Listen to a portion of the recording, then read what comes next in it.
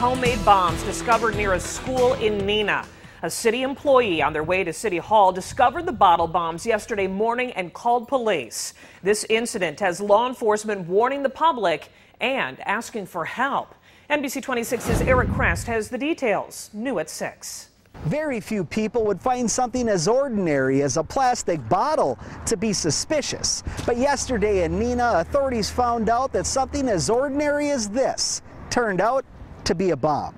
It's a busy sidewalk leading to a school, city hall, and local parks. But it wasn't the scenery that caught the eye of a passerby, but rather a piece of trash. Somebody saw a bottle and it appeared to be leaking a substance. They thought it was unusual. Three makeshift bottle bombs that look like this, made with common household products, were found when the police showed up.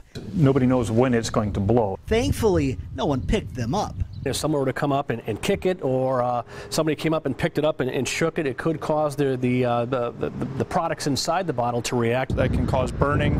Um, a lot of those substances are possibly acidic or corrosive in nature. So, you know, if that gets on your skin or on a person, it can, it can be very dangerous. When the chemicals react with one another, they typically will reach a boiling point before exploding, causing some very serious burns. But this time, authorities got to detonate the pint sized bomb rather than a random someone just trying to keep the part clean. Most people don't understand what those things look like and what they are. Now, if you did see something suspicious involving plastic bottles just outside of Neenah City Hall yesterday, local authorities would like to hear from you. Reporting in Neenah, Eric Crest, NBC 26.